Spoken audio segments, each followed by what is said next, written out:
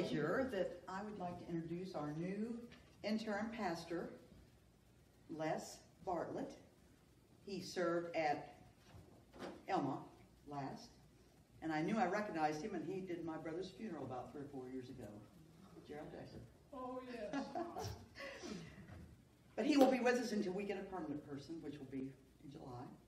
And his wife Judy, who I can already determine is a joy. but we're just so happy to have you here. Thank you so much for coming to serve us. Thank you for having me and allowing me to do this.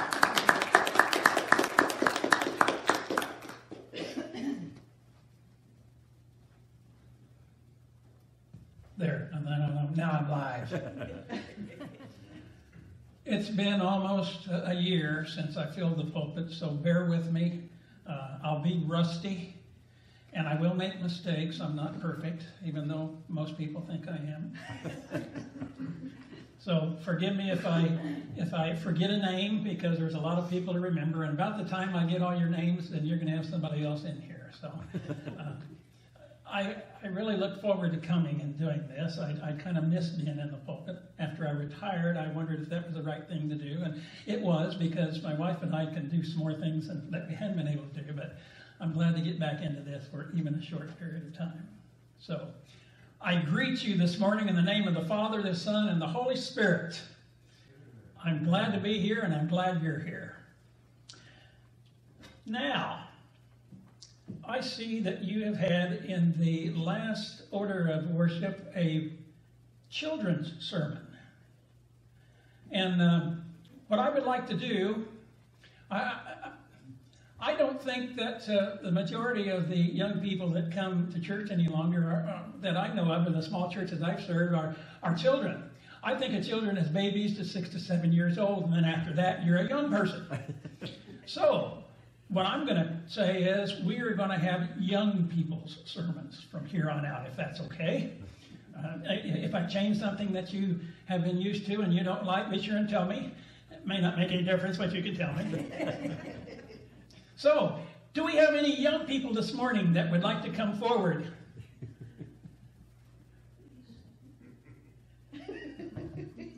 Oh, good. We will, we will socially distance so that we're okay. And you're from the same family, I assume, so it shouldn't be a problem. Um, what I would like for you to do is uh, think about this. There are so many things that we want to do as a young person that uh, um, it's hard when we try to incorporate the, a, a, sermon or something like that into a uh, something that the adults are going to hear. So please don't think I'm talking down to you, but I try to just make it as simple as we can, okay? Because maybe somewhere in what I say there'll be some some words of wisdom that you can take back home with you. I've got something for you.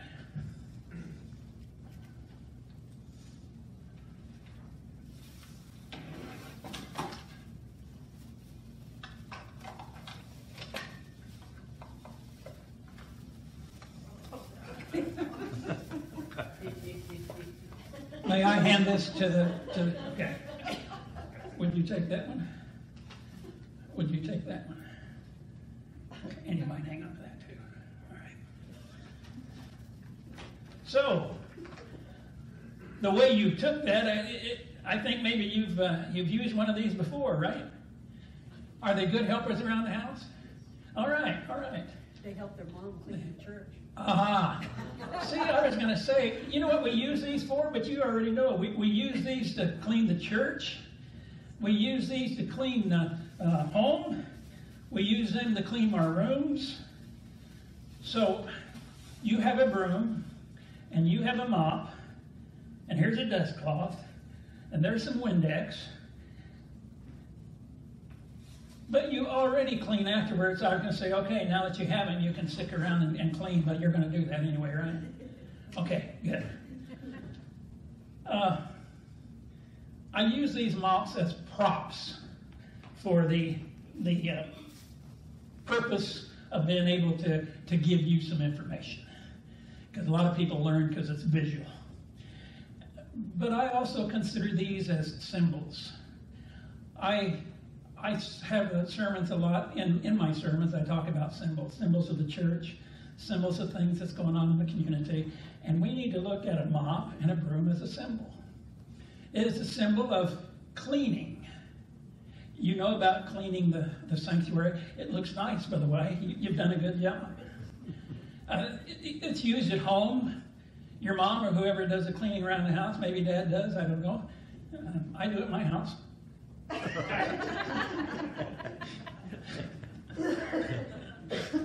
so somebody cleans the house because it's nice and makes it nice and you can live in. Somebody cleans your room.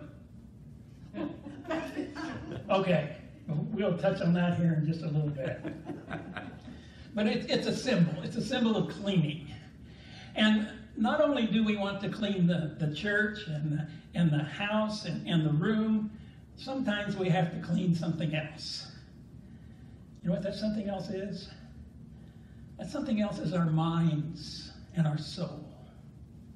A lot of times we, we know right from wrong and, and, and, and we do really well for a while and then we kind of ease up a little bit and, and then we start maybe thinking about some things we shouldn't think about or, or see something that probably we should not see. Or, so that, that, that clutters up your mind. That puts dust and dirt in your mind, let's say, okay?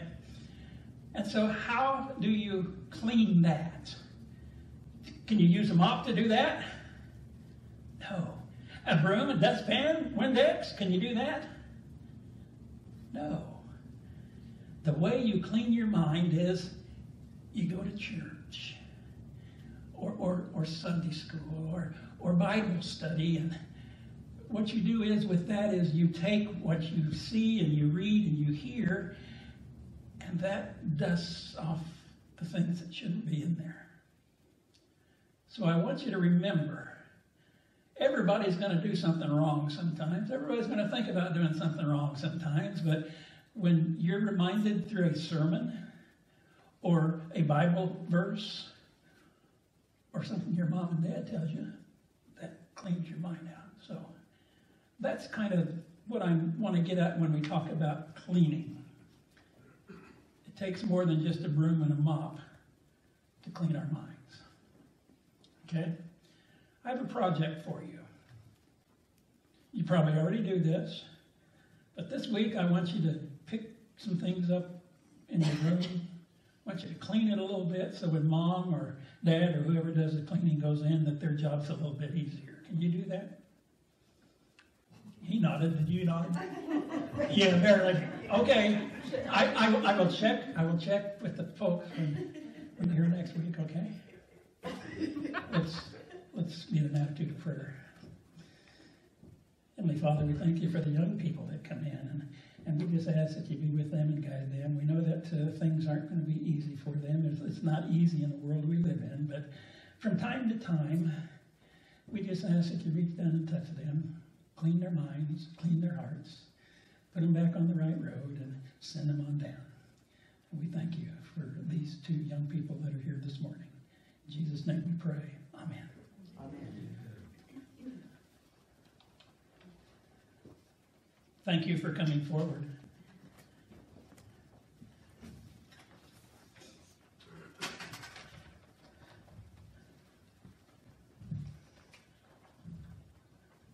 At the last uh, church that I attended, when I said, Would the young people please come forward? the invitation was to young people of any age. And you would be surprised how many adults came down, especially when they saw what kind of props we had, or some of them came down for the candy. But if we ever say, would the young people come forward and you want to, you want to do that, you are welcome to come forward at that time as well. I always like to have something from the hymnal. I understand we don't sing from them, but uh, as, a, as a congregation, but there are some things in there that I like to, to read. And what I've chosen this morning is the Canticle of Love, found in your hymnal on uh, page uh, 646. Let love be genuine and live in harmony. Hate what is evil, hold fast to what is good. Outdo one another in showing honor, be humble and never conceited.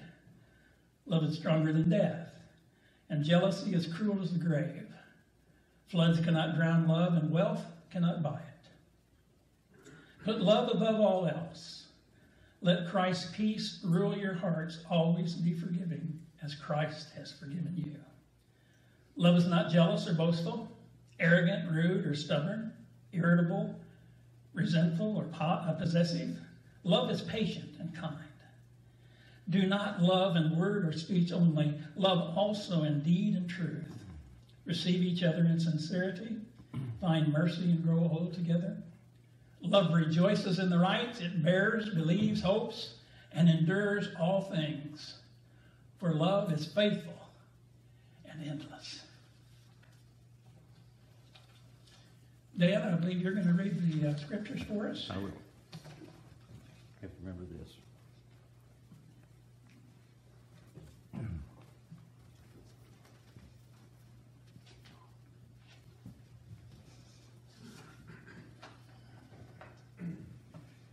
Pastor Les, we're so excited to have you here. Thank you. And I want to share just a quick comment. I think many of you know that, that I enjoy reading first in the, in the Old Testament and then going to the New Testament. And I was excited this morning when Pastor said, I'd like you to read from Numbers, which is the fourth book in the Bible, the fourth book of, that Moses wrote. It's in the first in the, Old Testament. And then we went to John, the good news of John. It doesn't get any better than that, going from Numbers to John. so I, want- I want to share with you uh, first reading from Numbers to be 21, chapter 21, uh, verses 4 through 9. And then we're going to go to the good news of John in uh, chapter 3, 14 through 21. Now, normally, as I do, Pastor reads from the NIV. I'm reading from the RSV, which is our church Bible. So the verbiage is slightly different, but it tells the story. Let Dan, you might pick up the microphone, that's hard here. Thank you, Does that work? that works better. Good. Okay. Well, thanks for pointing that out. I'm not quite so old, I need help. If my fingers are worked out, we're going, we're going to give you the program. Okay, here we go. We're reading from Numbers, chapter uh, chapter 21, verses 4 through uh, uh, through 4 through 9. I'm sorry. From Mount Hor, they set out by the way of the Red Sea to go around the land of Edom, but the people became impatient on the way. The people spoke against God and against Moses. Why have you brought us out of Egypt to die in the wilderness? For there is no food and no water, and we detest the miserable food. And then the Lord sent poisonous serpents among the people, and they bit the people, so that many Israelites died. The people came to Moses and said, We have sinned by speaking against the Lord and against you. Pray to the Lord to take away the serpents from us. So Moses prayed for the people. And the Lord said to Moses, Make a poisonous serpent, make a poisonous serpent, and set it on the pole, and everyone who is bitten shall look at it and live. So Moses made a serpent of bronze and put it upon a pole. And whenever a serpent bit someone, that person would look at the serpent of bronze and live. And now we're going to go to John, and we'll be reading from John 3 14 through 21.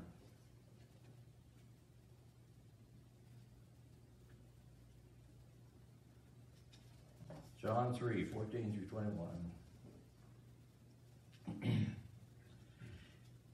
and just as Moses lifted up the serpent in the wilderness, so must the Son of Man be lifted up, that whosoever believes in him may have eternal life. For God so loved the world that he gave his only begotten Son, that whoever believes in him will not perish, but will have eternal life. Indeed, God did not send his Son into the world to condemn the world, but that the world through him might be saved.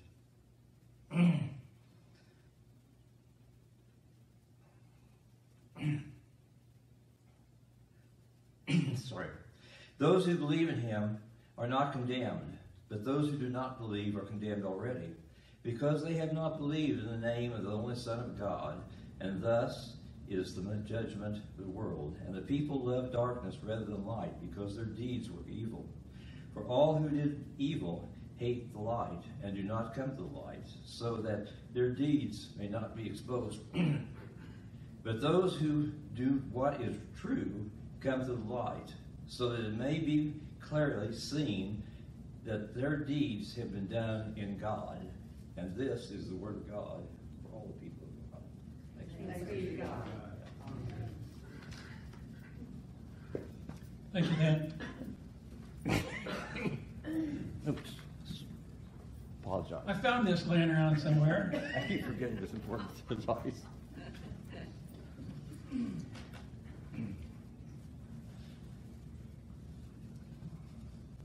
gonna move this back out so it doesn't sound like I'm in a barrel. There are two methods that pastors use when they put a sermon together. The first one's called the spider method. And like a spider, it, it starts at a certain point and, and weaves the, the message together and, and makes intricate little entrances into the, onto the page. And finally, when he's done or she's done, it has a full spider web. The second one is the, the, the uh, bee type method. That- you know, bees, they flit around different feathers, feathers. They flit around, yeah. I uh, was going to say also, I think I already said, if I make a mistake, you're, you're allowed to laugh at me, okay? So, there, the bee will flitter around to the flowers. And it'll pick up pollen here and it'll pick up pollen there and, and it's all over there and, and then it becomes uh, together and, and that's called the bee type sermon. And that's the type that I use. Um, a lot of the information that I pick up is not my own, but the words are mine. I, I take and I form what I get, what I read, and I put it into a sermon, and, and by the time I'm done, hopefully it makes sense. Same way with the scriptures. The, the reason I like to, to read an Old Testament scripture and a New Testament scripture is because, not all the time, but a lot of times they, they intertwine. They refer back to one another. And these two scriptures fit well in that.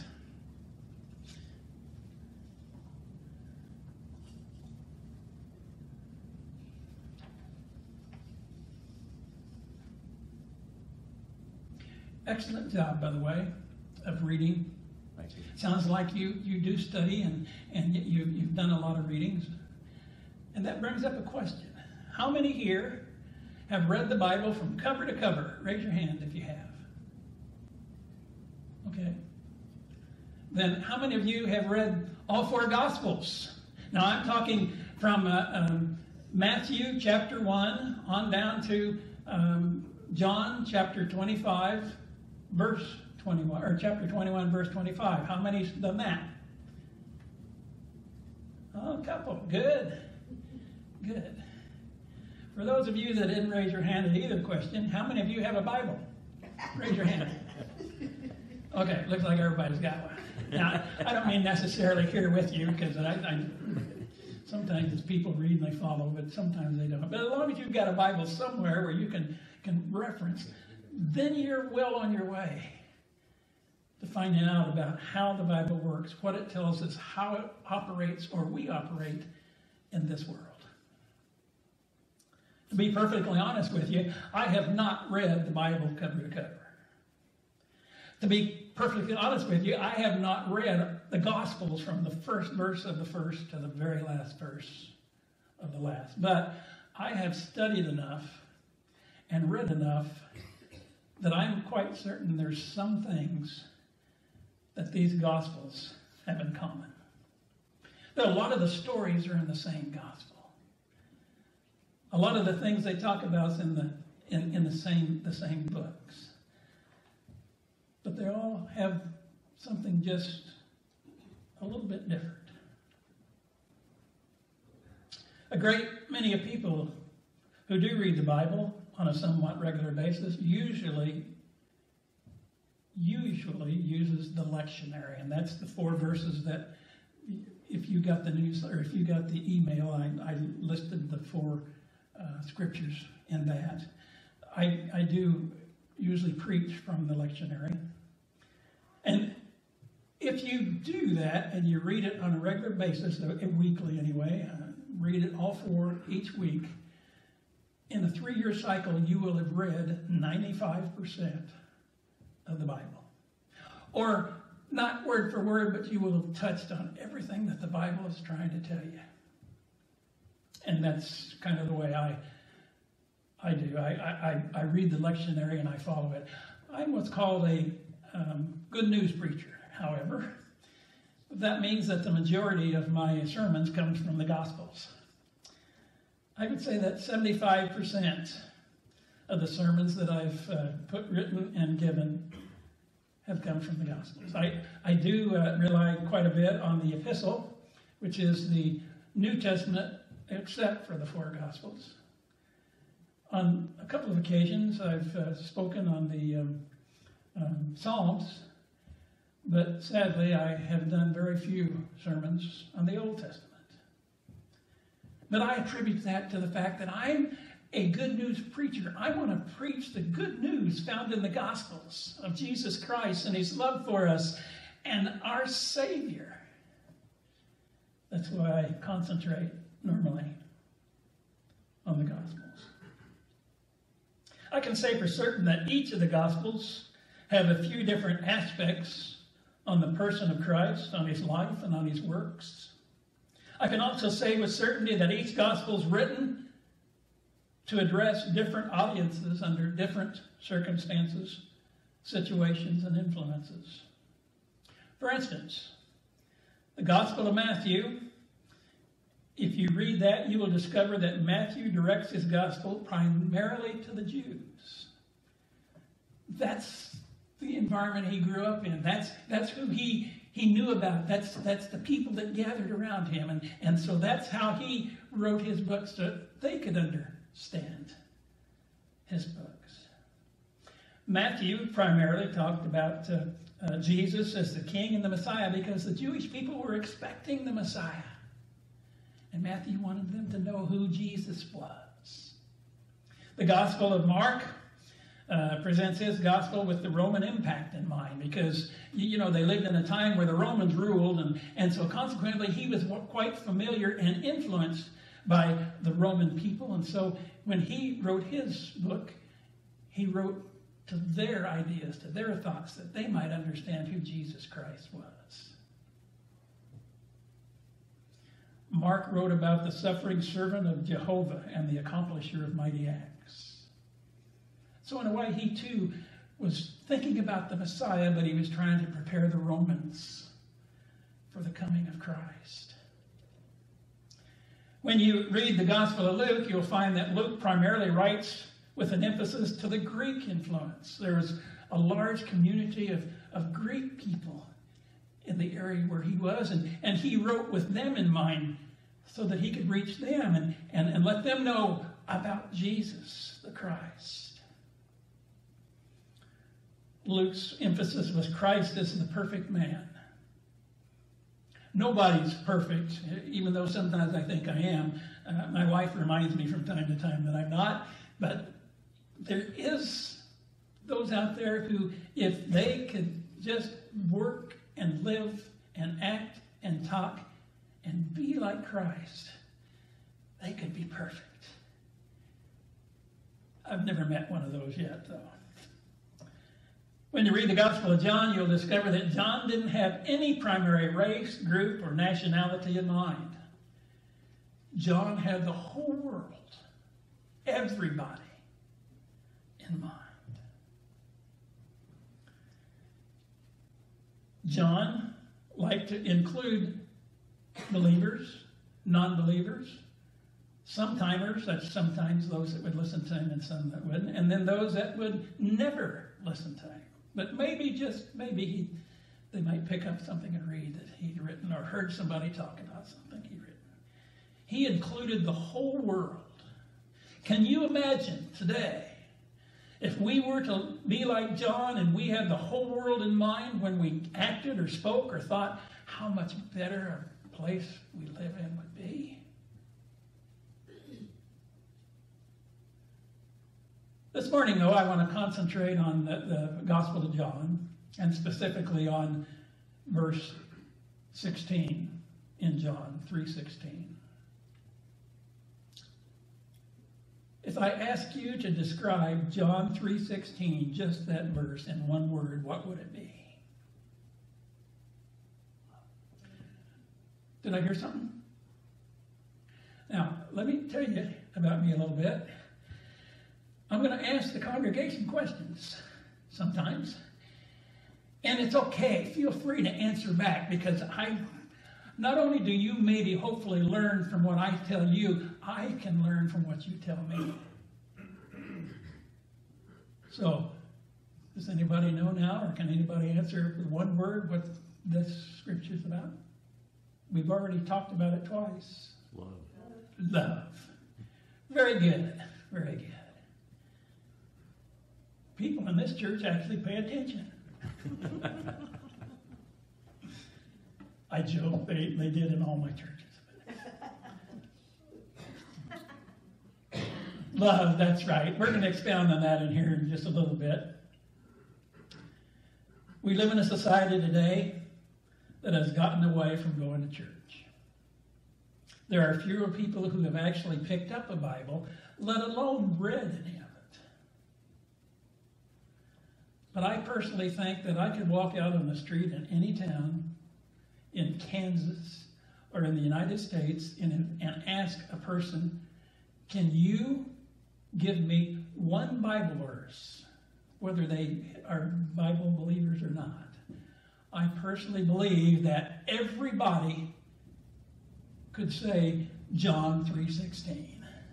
They may not know what it means, but they know they, they remember that because some of us back in the 80s, I don't know if you're sports people, but back in the 80s there was a guy at every major sporting event with with curly orange hair, I think, and, and he used to have a sign. It's usually right in, in the goalpost when they were kicking a field goal. It said John 3:16. So everybody's been exposed to it at some point or t- in time. So everybody probably can say, well, yeah, John 3.16. I don't know what it's about, but uh, John 3.16.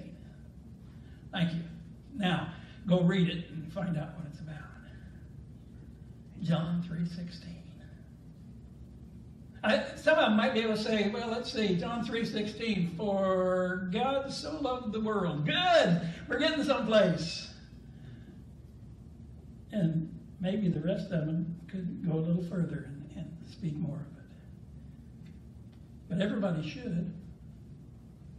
Everybody can, but everybody doesn't.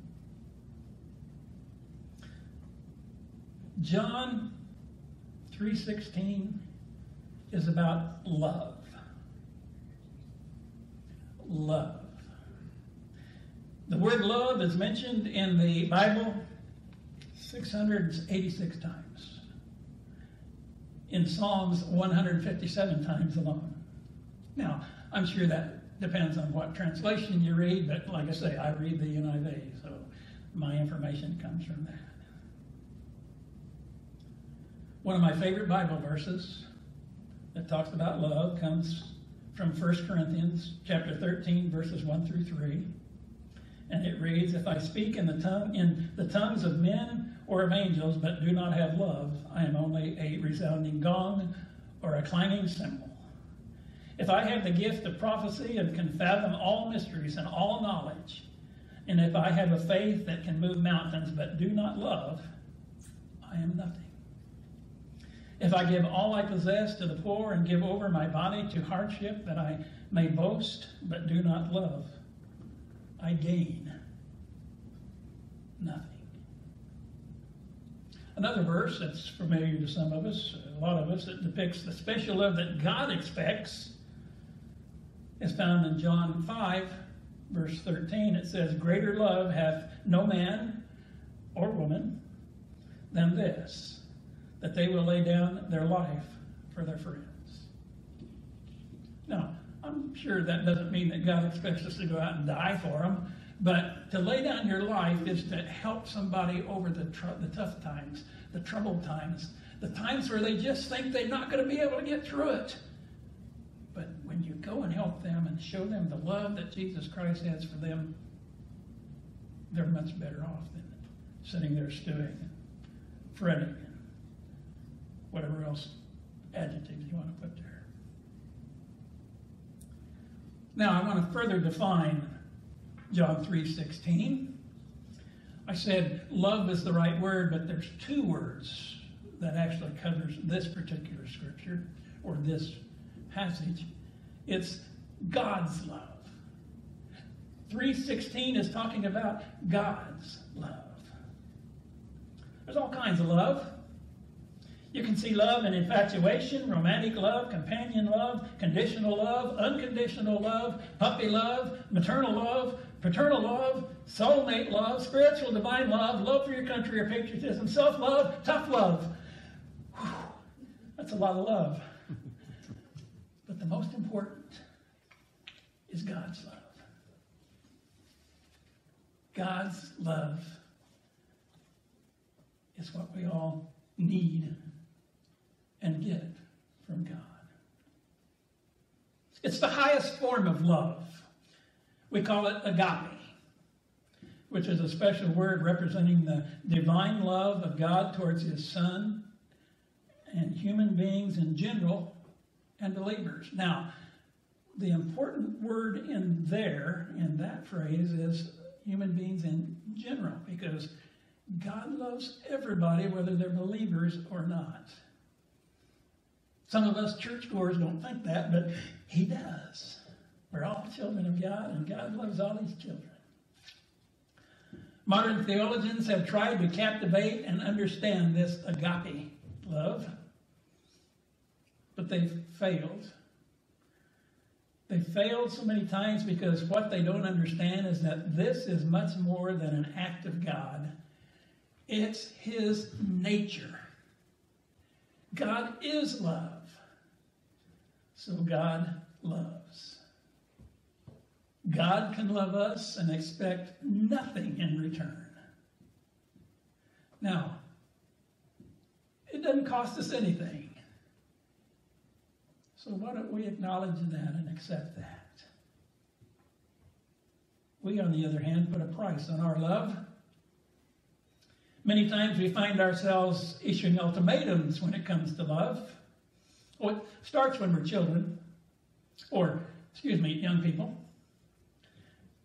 We say things like, if you like me, I like you. And then it evolves from there and gets worse. But God does not love us because we love Him. God does not love us because he, he sent Jesus to die for our sins. God just loves us. That's His nature to love us. And the only security and the only safety that we have in this world today is God's love. God's love alone is enough to save us. God's love is a formula on how we should live. It's a it's a formula on how to how to deal with family. It's a formula on how to run our homes. It's a formula on how to run a community. It's a formula on jobs, and it's even a formula for the church if we use it right. I want to break this down just a little bit further. I, I love lists, as you can hear all the all the things in here I've written down. There's four important aspects in this verse. The first one is the supreme fact of love. The supreme fact is that God so loved the world. Oh, my English teacher would be patting me on the back because I've broken down the sentence. The, the second supreme proof is uh, supreme proof of love. The love, the proof is that he gave something. He gave his only son. And that's the third supreme gift of love. He gave his only begotten son, his only son, as a sacrifice for all of us. And then the fourth is the supreme goal of love, and that is whosoever ever believeth in him shall not perish, but have everlasting life. What a gift! A gift of love. God loves us even when we're loveless. When no one else wants to be around us, God loves us. When no one else wants to have anything to do with us, God loves us. Even when we do things to disappoint Him, He still loves us. His love is not influenced by anything or anybody, and there's no hidden agendas to his love. In the words of John 3:16, we have the entire gospel in a nutshell.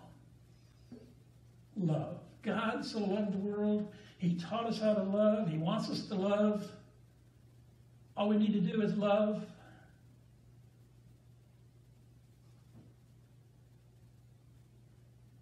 God so loved the world that he sent his son as a manifestation of his love toward a sinning world. We are all sinners. We know that. We admit that. If there's a if there's a sinner, if there's somebody in here that's not a sinner, raise your hand.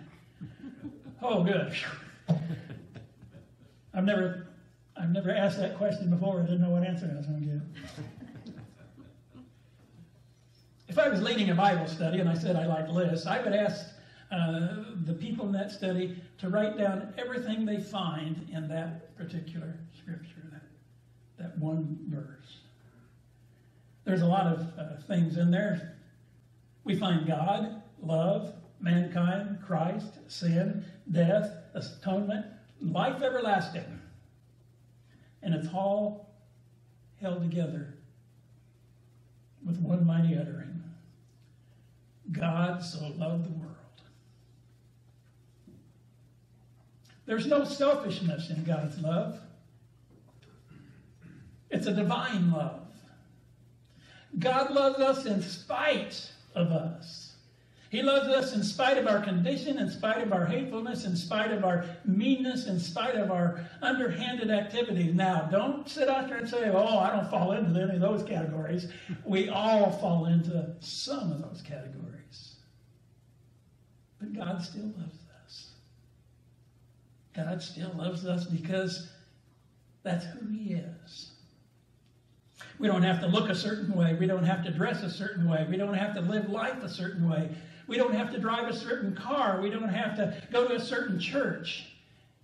God loves us unconditionally. There's no, no limits, no requirements. Just be there and He loves you. God doesn't care if you're dark or light, rich or poor, skinny or ugly. Oh, excuse me, skinny or fat? I'm thinking of myself. he just loves us. If we could all show that same kind of love to every person on earth, what a wonderful world this would be. Let me conclude this morning with this story. There's a little boy who had no home, and he had no family. And a police officer observed him wandering around. He thought he was in, in, in having some problems, so he went up to talk to the little boy and carried on quite a little conversation. And it was getting dark out, so he said, Well, you know, you really need to go home. And the boy said, I don't have a home. He said, My mother's dead, my father's dead, I don't have any place to go. And the policeman said, Well, he said, let me, let me, let me tell you. He said, You go down this street here about a block, and he said, You'll find this big building, and there's a cross on it that says, Jesus saves. And he says, well, I want you to go down there and knock on the door, and when the man comes to the door, I want you to give him the password. You know what the password is? Little boy says, I don't know the password. Police officer said, the password is John 3.16. Oh, that's simple. So the little boy goes down the street. He finds the building with the big cross on it. Says Jesus saves. He knocks on the door. And the man comes to the door and he says, "What's the password?" And the little boy says, "John 3:16." The man says, "Come right on in. Sit by the fire and warm yourself." That's what the little boy does. And as he's sitting there, he's thinking to himself, "I have no idea what John 3:16 is." Little bit later, the guy comes back and he says, Are you hungry? And the little boy says, Yes, I'm starved. I haven't eaten in a week. And the guy says, Come on into the kitchen. We'll fix you something to eat. And he does. And as the little boy's sitting there eating, he's thinking to himself, I have no idea what John 3.16 is. A little bit later, the man comes back and he says, Are you tired? He says, Oh, yes. He said, I've been on my feet all day for a week. The guy says, Come on, I've got a bed in here. He said, Just lay down and rest yourself. And so the little boy went back, laid down the bed, and the minute his head hit the pillow, he says to himself, I have no idea what John 3.16 means.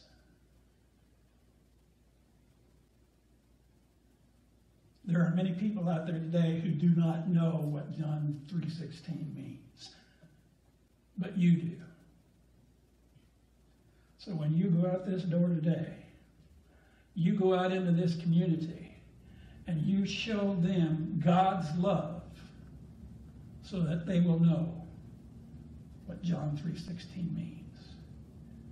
In other words, the challenge for you today is to pass it on. That brings me to special music. I hope my voice holds out. It kind of cracked this morning.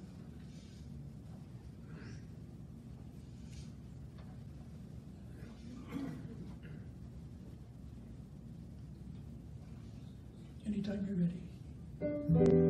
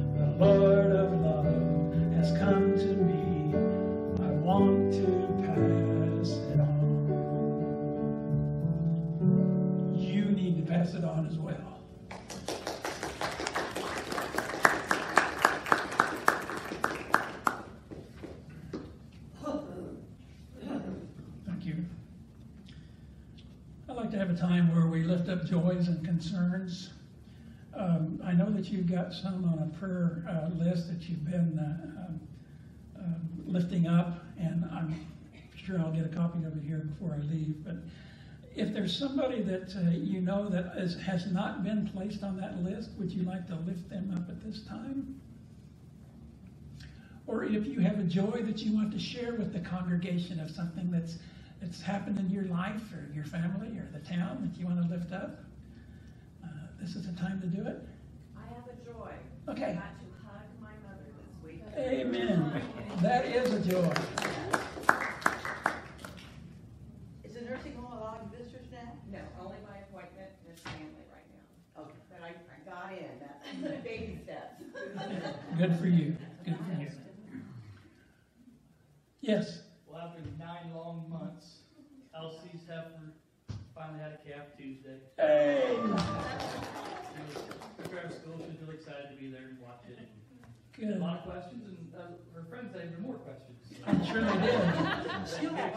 Are, are you a 4-H'er then? Well, good. It's, it's a good it's a good uh, organization. Yes. I might mention that Carol and I are headed out for, on a vacation for about three weeks or maybe a little longer. And as my mama used to say, we appreciate people praying us there and praying us home. Okay, we'll lift you up for prayer mercies. I, I also would like to, ask you to keep Judy and I in your prayers as we travel um, to and from the, the services. Are there others? Yes. It's a treat to have the Fidens here. Yes. Welcome back, is that what you're saying? Or welcome? They moved away. Oh, no! Well, I'm glad you're here. We are too. We always do. Are there others? Yes. Got a birthday coming up this week. Oh, happy birthday. Thank you. I guess that's what that's for. Uh, At the church where we used to come from, we'd have everybody come up front and then we'd sing them happy birthday, but we can't sing, but happy birthday to you. Thank you. Anything else? If not, let's be in an attitude of prayer.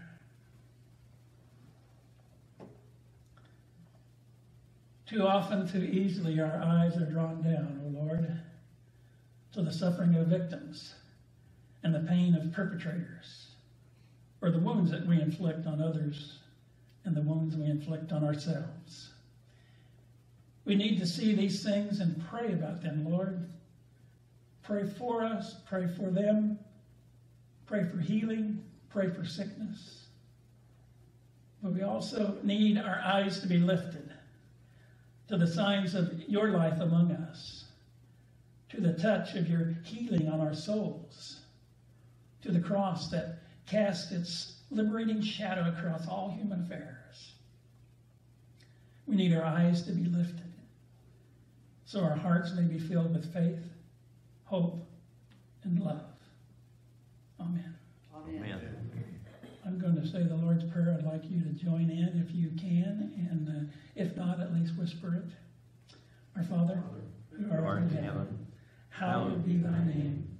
Thy kingdom come, thy will be done, on earth as it is in heaven. Give us this day our daily bread, and forgive us our trespasses, as we forgive those who trespass against us. And lead us not into temptation, but deliver us from evil. For thine is the kingdom, and the power, and the glory forever. Amen.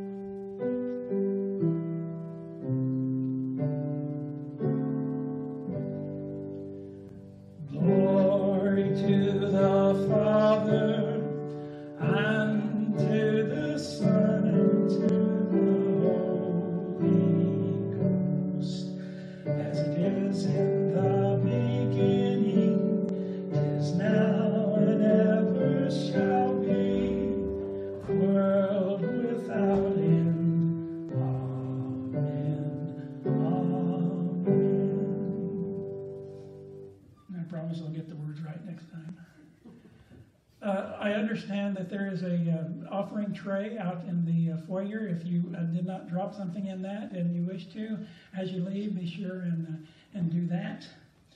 Uh, before you put the candles out, let me just uh, do a dedication of the offerings, if we may. Would everybody uh, lower their heads, and if you wish to raise your hands. Great and generous God, our lives are surrounded by things that steal our lives, inflict and destroy us. The tithes and offerings we share with you this day are a way of keeping us focused not on the things that would take life away, but will renew our lives hope, love, compassion, empathy. As the Israelites looked to a serpent on a pole for healing, we look to a Savior on a cross to be brought back to life. In that holy name, Jesus the Messiah, we pray. Amen. May God's peace and grace be with each of you this week. I would ask you during the postlude to please remain seated. I don't know what your policy is, but uh, some churches, when the postlude starts, people get they think it's a marching tune and they get up and leave. I think it's uh, it's it's um, irreverent, if you will, to do that. Our pianists and, and uh, music people spend a lot of time preparing to, to play for you in their service, and I think it honors them and gives them respect if we will sit and listen to the postlude before we get up and leave. Thank you.